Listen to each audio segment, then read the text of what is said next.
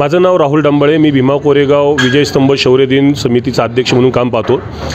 एक जानेवारी दोन हजार बावीस रोजी पेरणे या ठिकाणी अठराशे अठरा साली पेशवाई आणि ब्रिटिश या युद्धामध्ये अद्वितीय असं शौर्य गाजवणाऱ्या शूरवीर महारयोद्ध्यांच्या अभिवादनासाठी दरवर्षी मोठ्या प्रमाणात जो कार्यक्रम होतो शौर्य दिनाचा तो कार्यक्रम यंदाच्या वर्षी जिल्हाधिकाऱ्यांच्या अध्यक्षतेखालील प्रशासकीय समितीमार्फत होत असल्यामुळे आंबेडकरी जनतेमध्ये एक मोठं चैतन्याचं आणि आनंदाचं वातावरण आहे. यंदाच्या वर्षी पहिल्यांदाच भारतीय सैन्य दलामार्फत तिथल्या हुतात्म्यांना आदरांजली व मानवंदना अर्पण करण्याचा कार्यक्रमसुद्धा प्रशासनाकडून आखला गेलेला आहे. कोविड नाईन्टीन व कोरोना व- ओमिक्रॉनचं नव्यानं आलेलं संकट लक्षात घेऊन त्या ठिकाणी अभिवादन सभांना परवानगी नाकारण्याविषयी प्रशासनानं कळवलेलं आहे.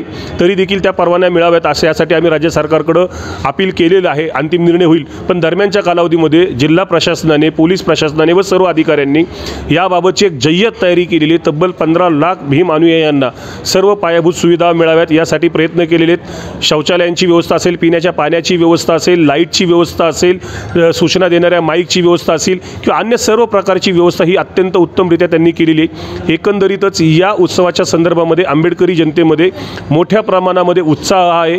स्थानिक ग्रामपंचायती पंचकृषीतले सर्व समाजाची लोक हे आंबेडकरी अनुयायांच्या स्वागतासाठी उत्सुक आहेत.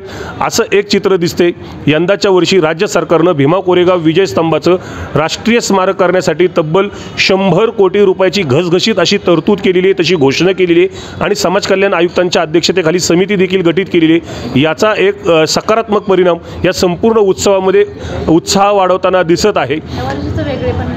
या वर्षीचं वेगळेपण या भीमा कोरेगावच्या शौर्य दिनाच्या अनुषंगाने एवढंच राहणार आहे की या ठिकाणी संपूर्ण स्तंभाची सजावट आणि स्तंभाच्या परिसरामध्ये स्लाईड अ, ला लाईटिंगचा लेझर शो हा शासनाच्या वतीनं करण्यात येणार आहे.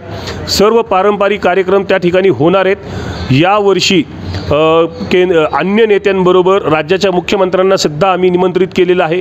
ते सुद्धा येण्याची शक्यता नाकारता येत नाही. आणि सोबतच भारतीय सैन्य दलाकडनं या ठिकाणी जी अभिवादन आणि मानवंदना होणार आहे तो आणखीन एक कौतुकास्पद असणार आहे. सोबतच आंबेडकरी साहित्य विक्रीचे जे स्टॉल्स आहेत हे देखील या ठिकाणी एक मोठ्या प्रमाणामध्ये विविध कार्यक्रमांचं आयोजन करून त्या ठिकाणी ते लावले जाणार आहेत.